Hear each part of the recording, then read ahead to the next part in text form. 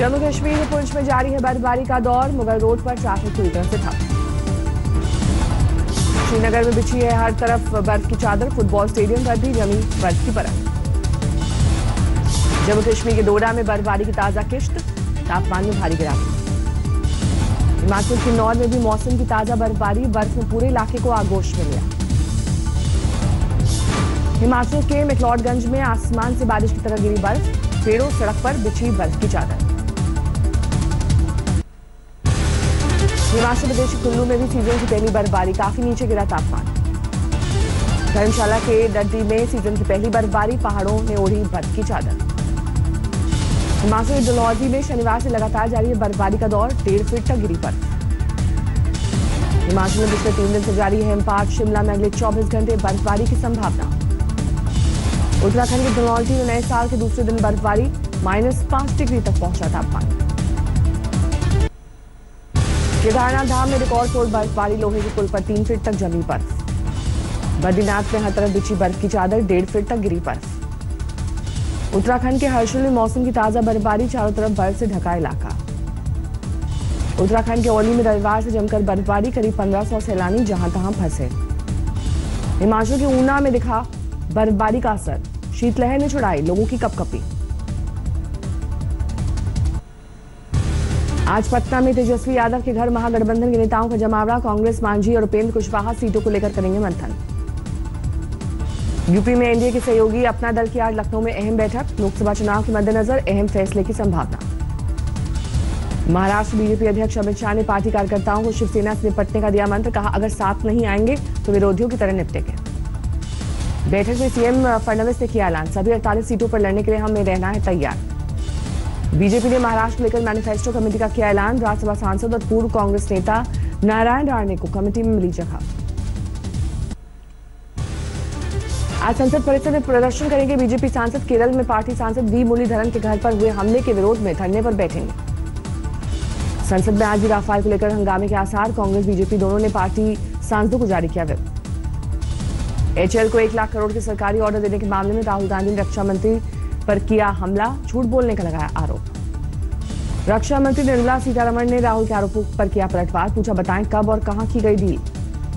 तेलंगाना में बीजेपी विधायक टी राजा सिंह का सियासी दांव एआईएमआईएम विधायक और विधानसभा के स्थायी स्पीकर मुमताज़ अहमद के हाथों शपथ लेने से इनकार, कहा, हिंदुओं के खिलाफ बोलती है पार्टी। मध्य प्रदेश में आज नई सरकार के विधानसभा सत्र का आगाज़, वंदे मातरम के विवाद को लेकर हंगामे के आसार। मध्य प्रदेश वंदे मातरम पर कांग्रेस के यू टर्न के बाद भी बीजेपी की सियासत जारी। आज सचिवालय में वंदे मातरम का गायन करेंगे पूर्व सीएम शिवराज। लालू के बड़े बेटे तेज प्रताप ने बिहार की यात्रा बैंड बाजे के साथ बग्घी में सवार हुए तेज प्रताप। मध्य प्रदेश के शिवपुरी में चल रही हैंडबॉल प्रतियोगिता में पहुँचे कांग्रेस नेता ज्योतिरादित्य सिंधिया, बच्चों के साथ फर्श पर बैठे। बरेली जेल में अतीक अहमद के आने से अधिकारी चिंतित, आतंक को देखते हुए पीएसी और गंगर कनर की की मांग लोकसभा चुनाव के लिए बीजेपी की नई तैयारी, संकल्प पत्र, प्रचार और मीडिया कमेटी का जिम्मा संभालेंगे राजनाथ जेटली और दूसरे नेता। आम आदमी पार्टी की पंजाब इकाई में जारी इस्तीफों का दौर। पार्टी विधायक सुखपाल सिंह खेरा ने दिया इस्तीफा।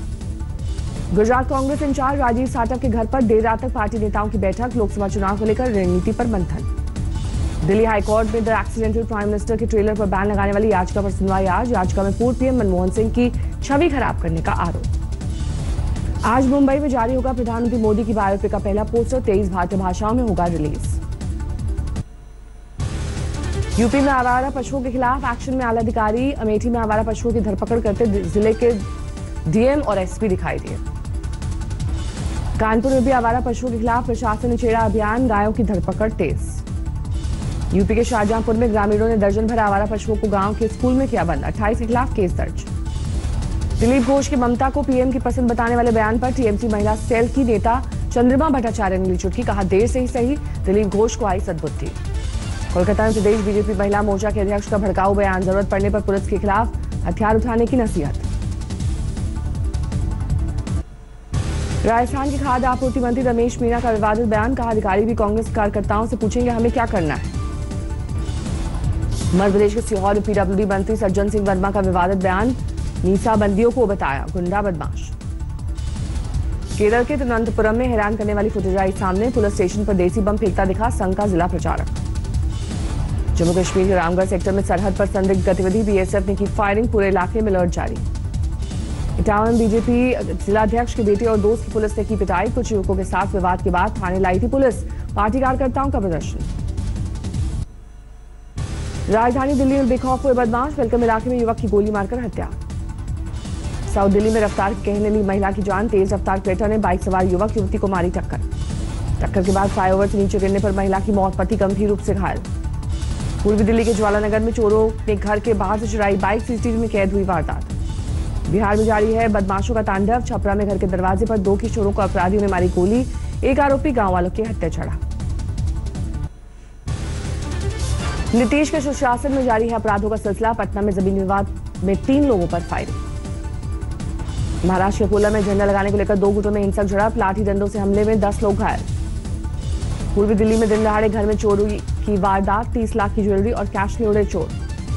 दिल्ली के देशबंधु गुप्ता रोड पर बदमाश में चार चार बदमाशों को पुलिस ने किया गिरफ़्तार, देसी कट्टे और कारतूस जब्त। नोएडा एसटीएफ के हत्याचार लुटेरों का गिरोह, चार को किया गया गिरफ़्तार, लूट के मोबाइल और गाड़ी बरामद। अलीगढ़ पुलिस ने सट्टेबाजों के खिलाफ छेड़ा अभियान सत्तर हज़ार की रकम के साथ सैंतालीस सट्टेबाज गिरफ़्तार। यूपी के हरदोई में झूठी शान के चलते युवक का कत्ल, युवती के पिता और भाइयों ने पुलिस को पुलिस ने किया गिरफ़्तार। हरियाणा के रोहतक में पुलिस की मुस्तैदी से टली एटीएम लूट की वारदात। वारदात से पहले पुलिस ने लुटेरों को दबोचा। मध्य प्रदेश के झाबुआ में सट्टे को लेकर भिड़े दो गुट, दोनों तरफ़ से चले पत्थर और लाठियाँ। मध्य प्रदेश के राजगढ़ में पुलिस पर गुंडागर्दी का आरोप, आक्रोश में गाँव वालों ने हाईवे पर किया जाम। बिहार के खगड़िया में आरजेडी नेता के घर हुई चोरी का पुलिस ने किया खुलासा, दस लाख की कीमत के जेवरों के साथ चार गिरफ़्तार। बिहार के गया में पुलिस ने पाँच अपराधियों को किया गिरफ़्तार, नौ कारतूस, मोबाइल और कैश जब्त। राजस्थान के धौलपुर में बहुजन समाज के लोगों की ज़मीन पर दबंगों ने किया कब्जा, गाँव से बाहर निकलने की दे रहे धमकी। राजस्थान के झुंझुनू में चोरों ने एटीएम से उड़ाए 16 लाख रुपए, गैस कटर से एटीएम काटकर वारदात को दिया अंजाम। राजस्थान के धौलपुर में अज्ञात बदमाश ने मजदूरों को मारी गोली, बदमाश गोली मारकर हुए फरार। लखनऊ में चलती बस में अचानक लगी आग, आनंद फानंद मुसाफिरों की बचाई गई जान। यूपी के बस्ती में भीषण आग की भेंट चढ़ी सब्ज़ी मंडी, लाखों का नुकसान। यूपी के हमीरपुर में बेकाबू रोडवेज़ बस का कहर, चपेट में आने से दो छात्रों की मौत, दो घायल। बिहार के मुजफ्फरपुर में नदी में गिरा मिनी ट्रक, पंद्रह घंटे बाद जेसीबी की मदद से निकाला गया। तमिलनाडु के पड्डुकोट्टई में बस ट्रक की टक्कर। सबरीमला मंदिर से दर्शन कर लौट रहे दस श्रद्धालुओं की मौत। वाराणसी में ठंड के सीज़न में पहली बारिश इलाके में बड़ी ठिठुरन राजस्थान के पाली में कोहरे का कहर, वाहन चालकों को दिन में जलानी पड़ी गाड़ी की हेडलाइट। हिमाचल प्रदेश के बिलासपुर में जमकर बारिश, प्रचंड ठंड से कांपे लोग। गाजियाबाद में 12 जनवरी तक सभी स्कूलों को बंद करने के आदेश, ठंड के मद्देनजर प्रशासन का फैसला। ग्वालियर में अगले चार दिन बंद रहेंगे सभी स्कूल, ठंड के चलते फैसला।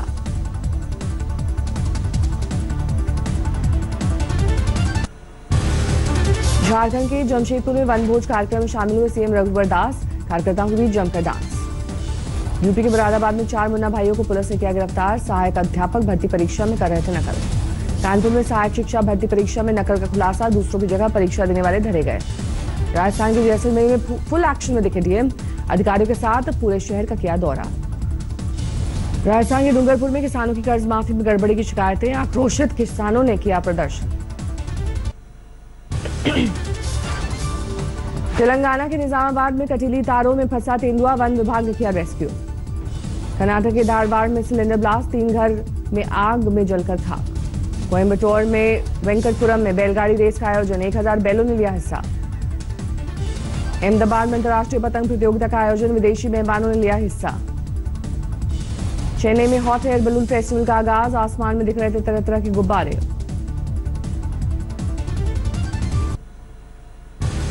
सिडनी टेस्ट में आखिरी दिन, बारिश डाला खलल, अब तक शुरू नहीं हो सका खेल, भारत के पास 316 रन की बढ़त। ऑस्ट्रेलिया में इतिहास रचने की दहलीज पर भारत, सिडनी टेस्ट ड्रॉ होने पर भी सीरीज़ जीत पक्की। केपटाउन टेस्ट में पाकिस्तान को हराने के बाद दक्षिण अफ्रीका को झटका, धीमी ओवर गति पर आईसीसी ने कप्तान डिप्लेसी पर मैच का लगाया बैन। एएफसी एशिया कप में भारत शानदार शुरुआत के साथ पहले मैच में थाईलैंड को चार एक से दी शिकस्त।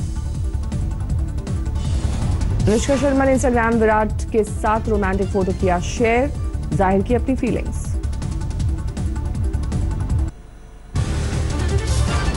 अमिताभ बच्चन, प्रयागराज से जुड़े अपनी यादें करेंगे साझा, वीडियो के ज़रिए होगा प्रमोशन सोनाक्षी के साथ कलंक की शूटिंग के लिए जाती दिखी आलिया उन्नीस अप्रैल को रिलीज़ होगी फ़िल्म कुली नंबर वन की रीमेक से आउट हुई सारा अली खान। अब आलिया संग दिखेंगे वरुण धवन। करण जौहर ने मलाइका अर्जुन को लेकर किया खुलासा। दोनों एक दूसरे को कर रहे हैं डेट रणवीर की फ़िल्म सिम्बा की धमाकेदार कमाई जारी। जल्द 200 करोड़ के क्लब में शामिल हो सकती है फ़िल्म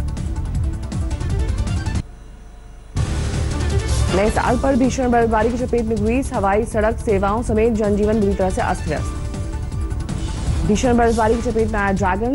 शिंजियान प्रांत में नदी में जमी बर्फ़। चीन के कई इलाकों में ज़ीरो डिग्री से नीचे गिरा तापमान। बर्फ़ का लुत्फ उठाने पहुँच रहे सैलानी। चीन के हरबिन शहर में बिखरी आइस फेस्टिवल की छठा प्रमोशन के लिए बर्फ़ पर फिसलते दिखे पेंगुइन। जर्मनी के बवेरिया प्रांत में जमकर सालाना रेस का आयोजन, बर्फबारी के बीच हिस्सा लेने पहुँच रहे पर्यटक।